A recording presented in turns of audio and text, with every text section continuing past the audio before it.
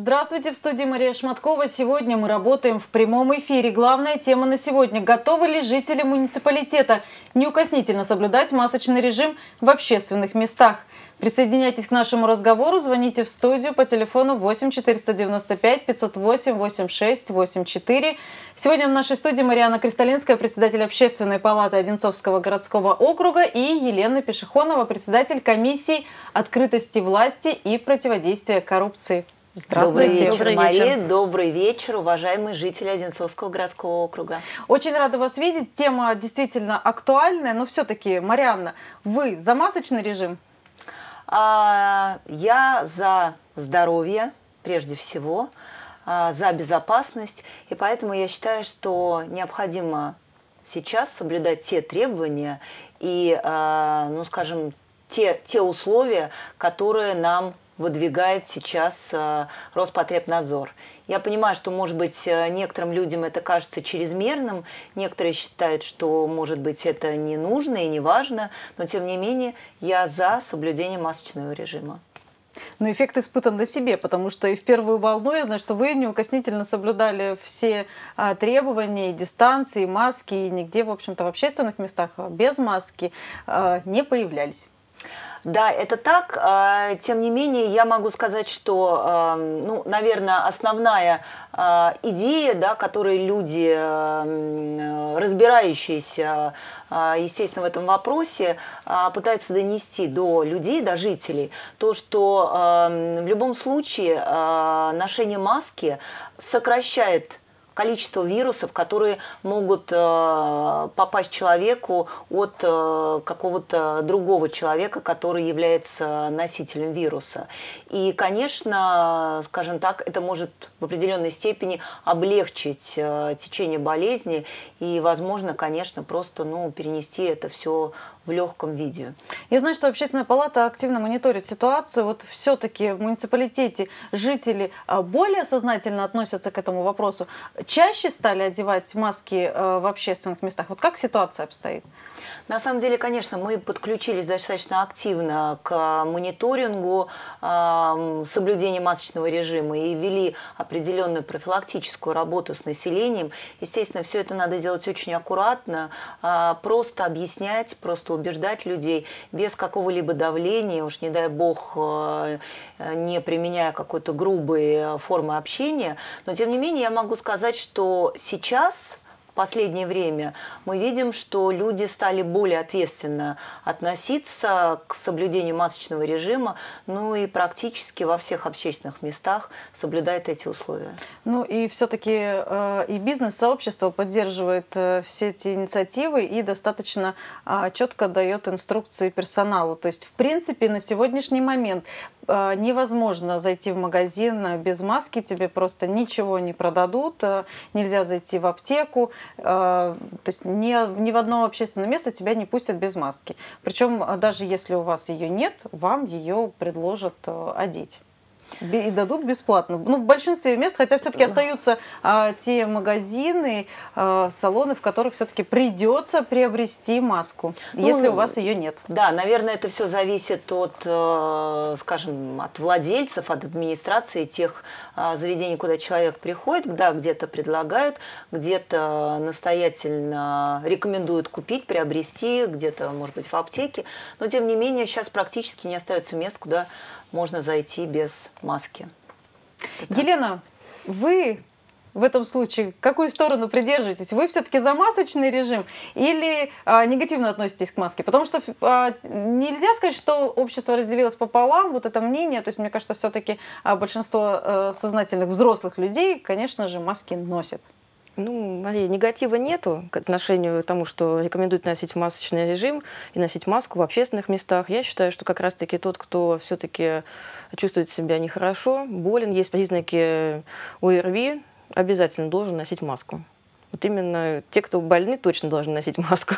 А еще обязательно должен остаться дома. Не ну, приходите на работу. По крайней мере, воздержаться не от посещения. В, аптеку, да. в магазин. Согласна То есть сейчас есть доставки, и, в общем-то, можно позвонить друзьям, близким. Я думаю, что волонтерам опять же, да, и все, все сразу же стремятся, чтобы решить тот или иной вопрос, но самое главное, конечно же, не подвергать опасности окружающих. Вот то, чего мы так боимся, мы все говорим о том, что не хотелось бы, чтобы снова Я думаю, вернулось что это, да, э, самое главное, те жесткие да, меры мысль. ограничения, которые были в первую волну пандемии, конечно же, вот самая большая опасность сейчас в этом. Да, самоконтроль. Самоконтроль. Мы сегодня говорим о том, что мы за масочный режим носим маски в общественных местах. Если у вас другое мнение, или вы поддерживаете а, членов общественной палаты и телеканала Одинцова, звоните в нашу студию. Напоминаю, мы работаем в прямом эфире по телефону 8 495 508 86 84 и высказывайте свое мнение. Общественная палата регулярно проводит рейды в округе и напоминает о необходимости соблюдения масочного режима. Давайте посмотрим, как хорошо соблюдают жители нехитрые правила. Многофункциональный центр на Можайском шоссе. Практически все посетители в масках. К тем, кто все же игнорирует правила, члены общественной палаты подходят с разъяснительными беседами. К сожалению, мы увидели, что вы без маски. Вы не скажете, почему вы ее не надели? А я просто сейчас позвонила. Я до этого в маске была. Да? Ну, к вам огромная просьба все-таки да, стараться сохранять масочный режим, потому что Хорошо. действительно это сейчас очень важно. Хорошо. Спасибо вам большое за понимание. Я забыл. У меня есть маска. Сейчас я одену. Все будет нормально. Если кто-то из посетителей пришел в МФЦ без маски, ее можно получить прямо на ресепшене. У менеджера всегда под рукой новые защитные средства. Без них на прием не попасть. Но, как показывает опрос, большинство жителей надевают маски не потому, что этого требуют правила, а потому, что осознают степень опасности. Я считаю, что нужно соблюдать, да. Потому что мы боимся, у нас возраст такой, мы боимся, мы соблюдаем. После посещения МФЦ представители общественной палаты прошли по торговому центру. В основном посетители в масках. Единственное, что не все их правильно носят. Ну, потому что, наверное, дышать не очень удобно. Общественники напомнили нарушителям, что маска должна полностью закрывать дыхательные пути. В противном случае средства защиты малоэффективны. А пассажирам общественного транспорта даже разъяснительные беседы не понадобились. Они в полной мере соблюдают меры предосторожности. На самом деле, что радует, что действительно в общей сложности, конечно, люди соблюдают масочный режим и, э, ну, также, скажем так, объясняют, почему это необходимо, почему это важно с их точки зрения. А, Естественно, есть люди, которые считают, что это не так, что это не нужно, что они не болеют. Вот. Но мы со своей стороны ведем просто разъяснительную работу и объясняем, а, почему это важно в данный момент. Общественники еще раз подчеркивают, несоблюдение масочного режима увеличивает риски распространения коронавирусной инфекции. Они призывают каждого жителя Одинцовского городского округа ответственно относиться и к собственному здоровью, и к здоровью окружающих.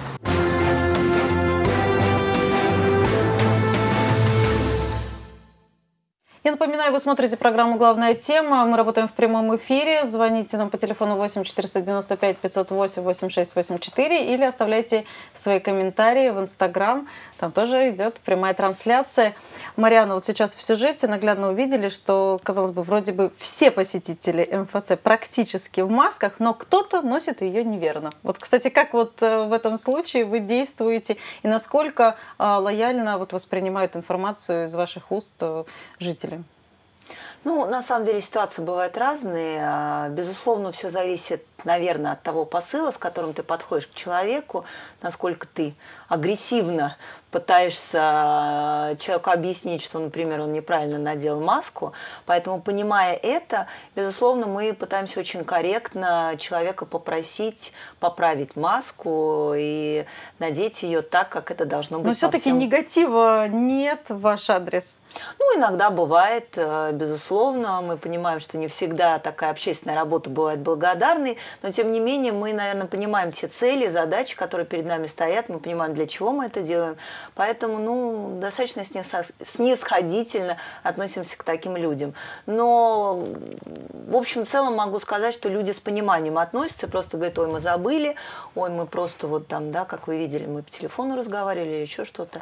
И пытаются, да, сразу поправить, надеть ее правильно. Но самое главное, что сейчас э, маски есть везде, нет никаких сбоев э, с поставками, в общем-то, можно даже своими руками это прекрасно сделать, э, что многие делают, если, например, на медицинскую маску, ну, бывает так, что есть раздражение, какие-то аллергические реакции, то есть все-таки можно всегда найти выход, но защитить себя, своих близких и, конечно же, окружающих, что немаловажно. С какой регулярностью проходят подобные рейды, будут ли они проводиться дальше? Марианна? Ну, на самом деле они проводятся каждую неделю. А, вот, ближе к выходным мы проводим такие рейды, пытаемся посещать а, места, которые наиболее а, востребованы у жителей нашего округа. Это МФЦ, как вы видели из сюжета, это рестораны, то есть предприятия общественного питания, торговые центры, салоны красоты. Ну и проводим такой мониторинг, насколько правильно и грамотно везде соблюдается и меры меры а, профилактики коронавирусной инфекции. Ну, список, э, тем не менее, формируете вы самостоятельно или все-таки есть некие рекомендации? Может быть, жители обращаются, пожалуйста, вот здесь, да, проконтролируйте ситуацию, может быть, нужно как-то помочь организовать процесс, э, в том числе и предпринимателям, э, недобросовестным, потому что нельзя говорить о том, что, конечно же, 100% сейчас вот все неукоснительно все соблюдают, но это не так.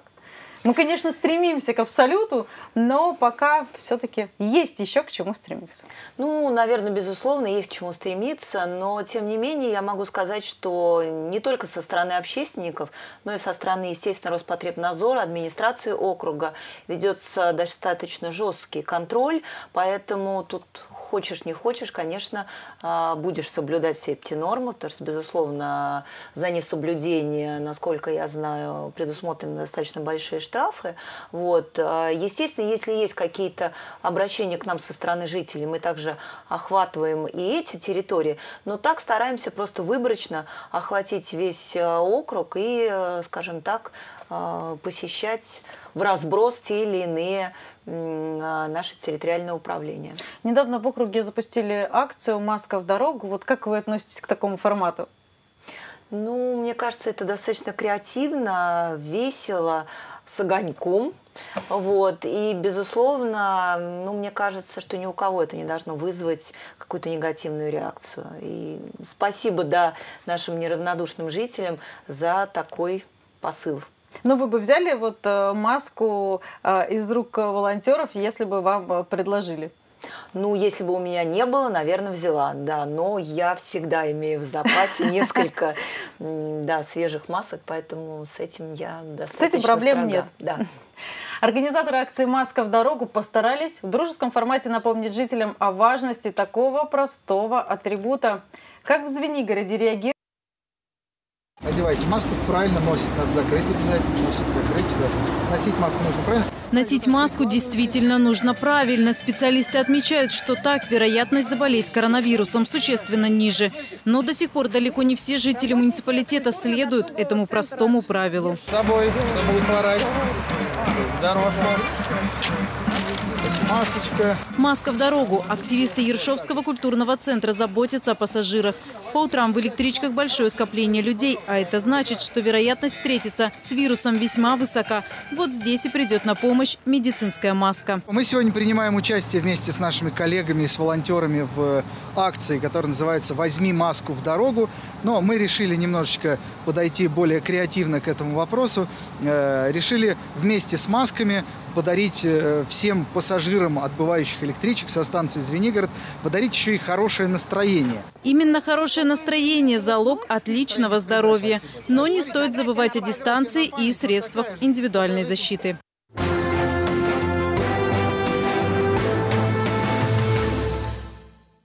Мне кажется, отличная идея. И вот точно у тех, кто в это утро а, встретился с волонтерами и получил из их рук маску вот именно таким способом, день прошел вот на все сто процентов. Точно настроение было отличное. Ну, я уверена, что настроение отличное и здоровье тоже на все сто. Елена, ну вот вам как? Мне очень понравился сюжет, и молодцы, создали настроение на весь день. Я думаю, что завтра граждане, направившись с этим же путем на работу, будут вспоминать и даже, может, глазами искать этих волонтеров. А может быть, эти граждане сами захотят присоединиться к такому движению и тоже э, напоминать о том, что нужно носить маски в общественных местах, в общественном транспорте, не забывать о своей защите и защите окружающих. Правда? Да, может быть и так. Ну, э, на самом деле акции э, проходили э, не только в Звенигороде, да, я уже сказала о том, что они проходили по всему округу, и мне очень, конечно, понравилась э, акция, которая была проведена в Перхушково. А, тут организаторы устроили настоящий концерт. Я вот прям предлагаю еще разбавить такой энергетикой наш эфир.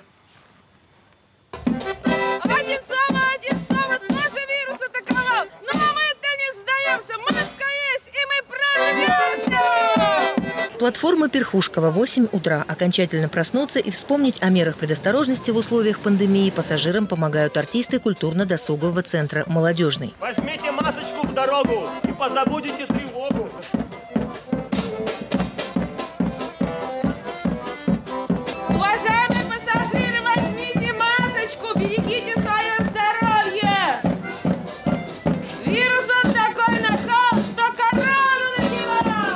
Железнодорожную платформу для этой миссии сотрудники молодежного выбрали не случайно, ведь в электричках большое скопление людей и есть вероятность заразиться.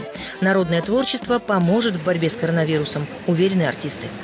Мы вышли специально для того, чтобы поддержать жителей нашего городского округа Одинцова. Почему? Потому что идет время, уже устали все. И напомнить о том, чтобы мы выполняли все мероприятия по защите наших организмов от этого проклятого вируса. А со, со стороны, как работник культуры, мы хотим песнями и частушками поддержать народ, чтобы они своим энергией, как говорится, были бодрые и здоровы. И да? в масках. И в масках, да.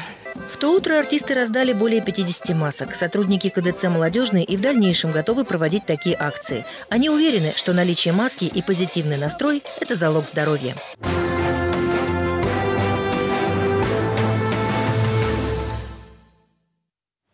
Но я напоминаю, что не только шутками, прибаутками э, рассказывают про э, необходимость носить э, маски в общественных местах. Безусловно, есть и штрафные санкции, но тем не менее, мне кажется, вот такая подача, она больше вот заряжает на то, чтобы, конечно же, соблюдать неукоснительно все эти правила. И запоминается больше всего, да, когда ты приходишь на платформу, а здесь частушки, песни, и кажется, что уже и коронавирус не такой страшный, и, в общем-то, жизнь-то наша прекрасна, полна красок, и все замечательно. Ну, на самом деле, я думаю, что никого уже рука не поднимется негативно а, отнестись к просьбе надеть маску. Тут уже вот явно с И никто не будет агитировать на то, э, чтобы не носить маски, потому что это вредно, и еще миллион причин, почему это делать не стоит. Мы за маски носим маски в общественных местах, в общественном транспорте, берегем бережем свое здоровье, здоровье своих близких. Я напоминаю, мы, мы работаем сегодня в прямом эфире в нашей студии э, представители Общественной палаты Одинцовского округа. Вы можете позвонить, задать свой вопрос или обратиться прямо вот у нас напрямую к председателю Общественной палаты Мариане Кристалинской, к Елене. Так что звоните. Наш телефон 8 495 508 86 84. Я напоминаю, мы работаем в прямом эфире. 16-20 октября в Дубках прошел личный прием граждан. С какими вопросами обратились к общественникам одинцовцы, расскажет Оксана Зеленкова. Она с нами на прямой линии. Оксана, здравствуйте. Добрый вечер. Добрый вечер, Оксана. Все-таки первый вопрос. Вы за маски? Мы за маски. У нас очень э, во всей культуре, во всех учреждениях культуры нашего Одинцовского округа очень э, четко осуществляется фильтр посетителей. Это и температуру меряют, и смотрят, чтобы все приходили в масках, ну и кто-то и в перчатках. Ну, вам понравилась э, идея проведения акции «Маска в дорогу» и то, как с этим справились ваши коллеги? Да, замечательная акция. Действительно, я думаю, что многие другие дома культуры, библиотеки сейчас подхватят ее, и на многих станциях нашего округа еще будет много ярких творческих выступлений, я думаю. Ну, то есть, э, если раньше были э, выездные бригады, то здесь можно просто выйти в массы, зарядить всех э, хорошим настроением, ну, по сути, провести массовое, ну, такое, ну, не массовое, но мероприятие на открытом воздухе, культурное мероприятие на открытом воздухе. Конечно, позитивно используй. Но, тем не менее, вернемся к теме нашего разговора. Как прошел личный прием, с какими вопросами обращались жители, что волнует жителей лесного городка? Вы знаете, вопросы были разного характера. Это вопросы по ЖКХ и по освещению. А, также обратились жители с тем, где делать тест бесплатно.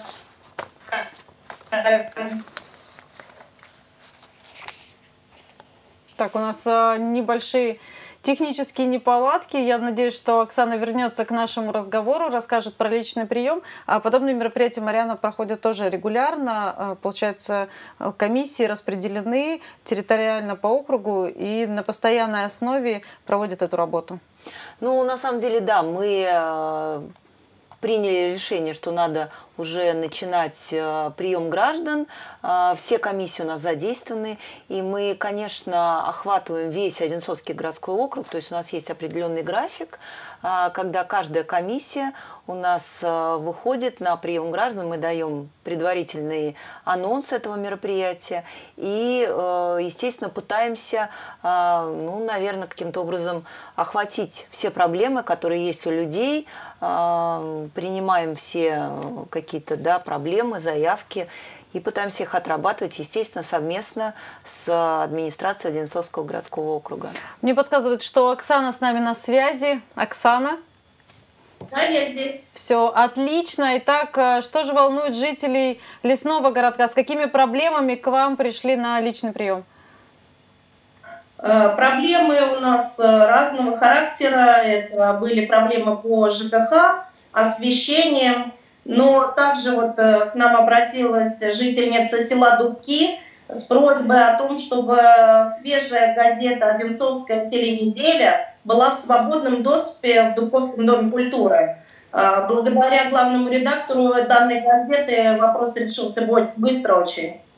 То есть сейчас э, газета в наличии, и все жители могут, э, посетив Дом культуры, взять любимую газету? Совершенно верно. Теперь у нас каждую неделю можно прийти и в свободном доступе взять Одинцовскую неделю, новые... газету «Одинцовская неделя». Оксана, а вот вы сказали о том, что были вопросы и э, другого характера. Вот э, все-таки как дальше маршрутизация осуществляется, куда они попадают и насколько быстро в другие комиссии, в профильные комиссии? Э, ну да, у нас есть профильные комиссии, мы тут же все аккумулируем, отправляем нашему замечательному секретарю общественной палаты, и уже адресно перенаправляется, начинается работа по конкретным обращениям. С какой регулярностью проводите вы личный прием? А как к вам можно записаться, попасть? А по какому адресу? Давайте вот напомним такие данные для жителей лесного городка. Возможно, кто-то еще об этом не знает. Э, прием осуществляется один раз в месяц. Это проходит он в Дубковском доме культуры, село Дубки, улица Советская, дом 7. Э, ну и в принципе есть городской номер телефона, можно позвонить, всегда узнать. 498 698 9705. Можно к нам обратиться, позвонить. Я всегда на месте. Если есть какие-то обращения, даже в другой день можно прийти и пообщаться. Ну, по сути, вы всегда на связи с э, жителями своего поселения. Конечно, конечно, мы рады любому гражданину приходить и будем и проблемы обсуждать, и хорошие какие-то идеи, которые возникают, может быть, будем реализовывать. Спасибо, Оксана. Здоровья вам и вашим близким. Оксана соблюдает масочный режим, поэтому все прекрасно, поэтому полна сил, энергии и работает на благо Одинцовского округа, как и все остальные общественники. А, также совсем недавно у вас прошел бесплатный день юридической помощи. Марьяна, вот расскажите про этот проект. Это не первый раз проходит по инициативе общественников подобные мероприятия. На самом деле, раньше общественная палата проводила, предыдущие созывы общественной палаты проводили такие а, дни бесплатной юридической помощи. Мы решили, конечно, подхватить опыт наших коллег и продолжить нашим новым созывом общественной палаты в этом году а, такие акции. И вот э, э, в эту субботу у нас как раз проходил такой день. Бесплатный, 24 октября? Да, 24 октября в волейбольном центре с 10 до 4. э, 10 представителей общественной палаты проводили прием жителей по различным, э, скажем, вопросам юридического характера, оказывали бесплатные консультации. Вот. э, У нас не было предварительной записи, поэтому мы, конечно, не знали а, заранее, сколько людей придет, но тем не менее мы а, были очень обрадованы, да, Лен, что Да. да, акция была востребована, и людей было достаточно, Достаточно много. много. Да, Лен, мы расскажите, без работы да. не сидели. Подробнее. Да, ну работа началась э, задолго до самого мероприятия. Нам нужно было необходимо сформировать все-таки тот юридический состав консультантов, которые могли бы оказать помощь юридическую нашим гражданам, жителям Одинцовского городского округа. Мы постарались, и 24 октября акция прошла, ну, я бы сказала, на ура. Мы приняли, наверное, около 40 человек, около 40 жителей округа. Все без исключения получили качественную юридическую консультацию. В основном могу сказать, что вопросы касались э, жилищных тем, земельных правоотношений, имущественного характера. Также были вопросы и с наследственной массой, и с наследством. Вот, поэтому я думаю, что жители остались довольны. В основном акция была направлена, все-таки призывала прийти тех, кто социально не защищен, вот, у кого имеются трудности с квалифицированной юридической помощью. Вот, мы были рады ее оказать, и впредь тоже будем делать анонс заранее, чтобы все граждане могли, в принципе, прийти, познакомиться и получить качественную юридическую помощь. Сейчас вот все те э, вопросы, с которыми обратились жители, они находятся в работе. Как обстоит дело? А Нет, именно день юридической бесплатной помощи был направлен на то, чтобы каждый гражданин мог получить э, консультацию на месте. Как Каждому- говорится, под ключ. Да, То есть под ключ, Чтобы да. вопрос, в принципе, был решен. То есть это э, не было, да, Лен, э, задачи, что вот, Это не был скажем, приемом, да, приемом обращения в работу. Приходите позже. Да, то есть мы старались... То есть, ну, давался э, какой-то алгоритм, И алгоритм действий давался, и ссылки на законы, и, в принципе, кому-то подробная консультация, как обратиться с исковым заявлением в суд. Поэтому То есть это именно информация такая полезная, понятная, доступная, как человеку действовать правильно в той или иной ситуации, В его с точки зрения ситуации, именно да. закона. да, в его конкретной сложившейся, не всегда легкой, а уже, может быть, даже тяжелой ситуации. А, к- Я так понимаю, что это было первое подобное мероприятие, но далеко не последнее, да, Мариана? Нет, это было первое мероприятие, как говорится, первый блин не комом. Вот, поэтому, увидев, э, что такая акция востребована среди жителей нашего муниципалитета, мы планируем э, и дальше продолжать с, с определенной периодичностью. Э, Единственное, сейчас мы, ну, скажем так, немножечко опасаемся, что, может быть, да, как-то ситуация не позволит нам в дальнейшем делать это в полной мере очно, но, тем не менее, пока с соблюдением, строгим соблюдением всех санитарных э, требований мы это сделали. Но, опять-таки, если позволит ситуация, мы планируем в начале ноября провести такую же акцию в Звенигороде. Уже э, есть э, примерно э, оговорены условия, где будет проходить? Можем сейчас озвучить? Или пока это еще все на стадии организации? А, Пока это на стадии организации, предварительно мы планируем это сделать в здании Центральной библиотеки. А, В Звенигороде. В Звенигороде, Да. да, это достаточно а, Ну, удобное удобно, место да. расположения, все могут э, спокойно добраться и, безусловно, то есть самое главное следить за анонсами в официальной э, группе Общественной палаты Одинцовского округа, либо на вашем сайте. Там есть всегда актуальная информация. Ну и опять-таки э, в продолжении темы соблюдения масочного режима э, в анонсе мы говорим, что обязательно нужно надеть маску, быть маске. А, также перчаточный режим у нас а, соблюдается. Но те люди, которые приходили без маски или у них не было перчаток, мы предлагали одноразовые бесплатные средства индивидуальной защиты. Елена, вы сказали о том, что работа до проведения дня была э, достаточно масштабной. Как э, подбирали экспертов? А экспертов подбирали. Есть при нашей общественной палате консультанты-эксперты, юристы, адвокаты. Вот участвовал наш консультант-эксперт Максим Довгань, адвокат. Также были сотрудники нотариата, что очень было востребовано, потому что оказалось, что граждане немного все-таки незнакомы. Есть такой юридический ликбез. Все-таки в получении юридических услуг у нас, ну, так сказать, можно сказать, на рынке именно Москвы, Московской области. Вот, многие жаловались, что сталкиваются с недобросовестными юристами. Вот, поэтому мы, конечно, рады, что наши эксперты общественной палаты, которые согласились с нами сотрудничать также, оказали безупречные юридические консультации. Ну и в будущем э, эти подобные мероприятия, эти акции будут, естественно, востребованы. Э, и чем больше о них узнают людей, тем, конечно же, будет эффект положительный. А у нас на прямой линии Ирина Семеляк, она тоже принимала участие в проведении бесплатного дня юридической помощи. Ирина, здравствуйте. Добрый вечер. Ирина, вы за масочный режим? У нас теперь всем экспертам мы задаем первый вопрос. Вы за маски? Да, да безусловно. Носите маски всегда в общественных местах, в транспорте, в общественном? А, я ношу маску везде, да, естественно, и в общественном транспорте, и э, у себя на работе. И все наши работники также носят маски. Как проходил э, бесплатный день юридической помощи?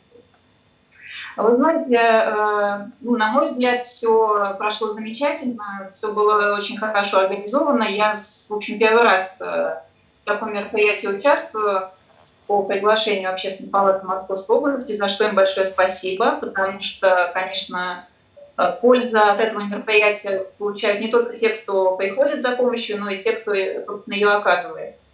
Вот. Эм, консультации, как мне кажется, я дала очень подробно. Я да, на своей работе не всегда э, так подробно общаюсь с людьми, как было, собственно, в эту субботу. Поэтому... А вот какие, кажется, какие что... вопросы именно закрывали вы? Э, какие темы? А, значит, у меня в основном, в основном э, была тема раздела имущества супругов. То есть по, ну, по опыту своей работы и по опыту вот этого, собственно, дня я могу сказать, что эта тема очень популярная и такая злободневная. Ну, конечно, мы не будем это связывать э, все-таки с пандемией и с э, мифом, назовем это так, о, о том, что э, пандемия привела к разрушению большого количества семей, да, и все-таки вот именно с этим такой ажиотаж и интерес к этой проблеме. Я думаю, что э, ну, по разговору с людьми не было связано с пандемией, те случаи, какие, какие я рассматривала. Вот. Поэтому там немножко другие были проблемы, в общем, общего характера, как говорить, семейные. Но возможно, что пандемия, конечно, сейчас всем тяжело, поэтому, может быть, и это тоже оказывает какое-то влияние. А все-таки э, правовая грамотность э, наших жителей растет? Вот по итогам э, бесплатного дня юридической помощи, знаете, вот что вы можете сказать? Знаете, правовая грамотность, э, я бы не сказала, что она растет, я бы сказала, что растет просто, понимаете, э, количество возможностей, где можно получить какую-то информацию. То есть люди заходят в интернет, люди обращаются к огромному количеству каких-то фирм, компаний юридических. Но вот качество услуг, которые оказывают эти лица, вот оно иногда бывает очень сомнительно. То есть здесь нужно говорить о фильтре информации, да, которую вы где-то читаете, берете, или вам кто-то что-то рассказывает. То есть все-таки, наверное, вот когда такой пул да, специалистов, это очень здорово. Это очень здорово, и здорово, что это все э, бесплатно совершенно. То есть люди действительно получают качественную, профессиональную, квалифицированную помощь бесплатно. Ирина, вы, вы готовы в дальнейшем э, участвовать в подобных акциях? Да, безусловно, если меня пригласят, я с удовольствием приму участие. Спасибо вам за звонок, Елена. Вам понравилась да. работа Ирины? Да, очень. Очень. Я довольна.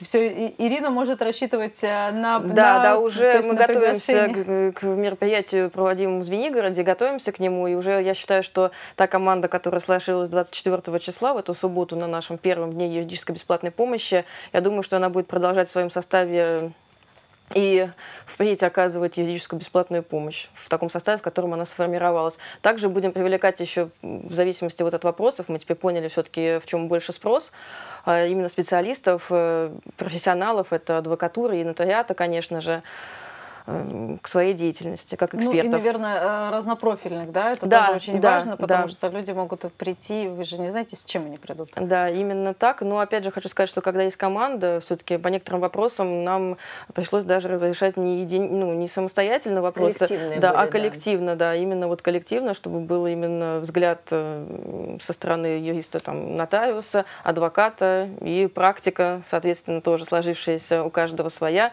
Поэтому нашли, нашли решение. Юридический нашли. консилиум. Да, да, да, да, это тоже важно, да, коллективный. Это очень важно получить мнение сразу нескольких экспертов, а, лучших э, в своей области.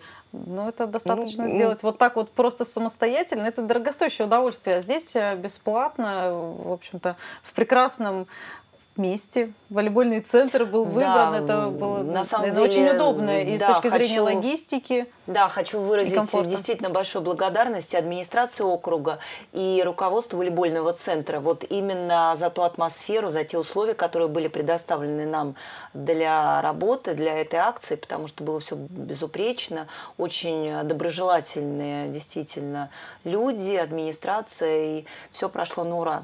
Всем было очень комфортно, очень уютно, поэтому действительно все очень здорово. А, Марианна, а были ли помимо вопросов, касаемых э, юридической помощи, обращения конкретно к членам общественной палаты? Были ли такие вопросы, приходили ли люди вот э, просто в том числе еще и а вот у нас есть вопрос? Ну, там на самом деле было несколько вопросов, и они касались а, именно сферы ЖКХ. И как раз э, было замечательно, что у нас как раз присутствовал э, на этой акции представитель э, комиссии ЖКХ благоустройства и дорожного хозяйства Андрей Глазунов. Андрей Глазунов. Да. И вот как раз он смог тоже на какие-то вопросы ответить и дать какие-то консультации. А мне подсказывают, что Андрей сейчас с нами на связи. Андрей, добрый вечер. Добрый вечер, Андрей. Да, добрый вечер. Добрый вечер, да. Андрей, вы за маски? Вы за масочный режим? Да, конечно. Само собой, конечно, да. Здоровье прежде всего у нас, конечно. И это, и это прекрасно. Андрей, расскажите, э, как э, прошел бесплатный день юридической помощи? Я так понимаю, что вы получили ряд вопросов, касаемых э, вашей работы. В профильную комиссию попали сразу пришедшие. Да, мне очень понравилось. Конечно, было все очень хорошо организовано. Э, несколько вопросов было по сфере ЖКХ, там это по городу, э, городок 17, это Галичный, Малый Зема. Там как раз было касалось по перевести, как управляющая компания давала документы э, и договор социального найма, чтобы приватизировать квартиру. Ну, как бы мы это в работу взяли, дали контакты свои и как бы можем работать с этим. Отлично. То есть все в работе сразу же, незамедлительно. Да. Андрей, да, вы еще, вы еще с нами да, на связи, да? Вы еще на связи с нами? Да, я с вами. Да. Мы вам желаем здоровья, спасибо, что были сегодня с нами. Решайте вопросы жителей, потому что это, наверное, сейчас на первом месте. Ну и мы надеемся, Спасибо. что Андрей да, присоединится к нам и э, на следующий э, прием, на следующий день э, юридической помощи в Звенигороде. Марьяна, какие э, вот в ближайшее время Общественная палата планирует э, проводить мероприятия? Но прежде чем вы ответите на этот вопрос, у нас есть звонок. Здравствуйте. Добрый вечер. Алло. Добрый вечер, представьтесь, пожалуйста. А, до, добрый вечер. Это прямой эфир? Да, это прямой эфир. Представьтесь, а, пожалуйста. Сударыня, вот такое дело. А, к вам обращается инвалид третьей группы, 74 года, пенсионер. Улица Можайское шоссе, дом 63. 12 а, апреля этого года был а, доставлен в отдел полиции, первый отдел полиции города Одинцова, где я заразился ковидом 19, да? и пробыл в течение трех месяцев 71 день, пять раз лежал в инфекционных больницах Одинцовского района. Так, я обратился, в те- находясь в больнице, обратился э, в, э, в телефон доверия э, полиции Московской области. На что, выйдя с больницы, мне пришел ответ с полиции первого отдела Одинцова, что меня никто не задерживал. С этим письмом я обратился в прокуратуру. А какой у вас сейчас Одинцова. вопрос? А, Какой вопрос вы- такой, Да. вопрос такой. И это должностное преступление. Прокуратура э, Одинцова э, прикрывает первый отдел полиции, что я там не находился вообще. Список Скажите, не начал. пожалуйста, скажите, представьтесь, пожалуйста, вы не представились, как вас зовут? Так, пожалуйста, Мишук Владимир Яковлевич. 74 Владимир Яковлевич, года. э, я вас Инвалид попрошу оставить... Алло, э, алло. Да, Владимир Яковлевич, я вас попрошу оставить мобильный телефон. А, Я думаю, что в этом вопросе с вами свяжутся э, представители Безусловно. общественной палаты. Вы все детально расскажете и постараются разобраться и помочь э, в вашей ситуации. Спасибо за звонок. Вот э, как вот в такой си- ситуации? Ну тут, наверное, все-таки нужно смотреть э, сразу с, с нескольких сторон, и нельзя однозначно э, ответить на такой вопрос. Ну, я думаю, что однозначно вообще никогда не надо отвечать сразу, да, надо попытаться разобраться. Безусловно, любые обращения граждан принимаются в работу, а, какими бы сложными они ни казались на первый взгляд. Мы пытаемся во всем разобраться.